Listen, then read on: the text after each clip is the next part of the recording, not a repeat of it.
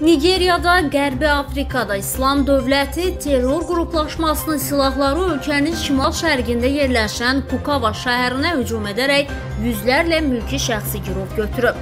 Astürk TV xarici kütləvi informasiya vasitələrinə istinadən xəbər verir ki, bu barədə yerli polis idarəsinin rəhbəri məlumat verib.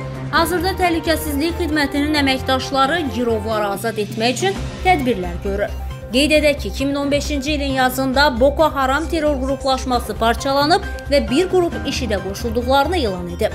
Yeni qruplaşma IŞİD tərəfindən tanınıb və Qərbi Afrikada İslam dövləti adlandırılıb. Terror qruplaşmasının əsas nöqtələri Çad gölünün cənub və cənub-qərbində, Nigeriya-Çad, Kamerun və Nigerin sərhədlərinin kəsişməsində yerləşir.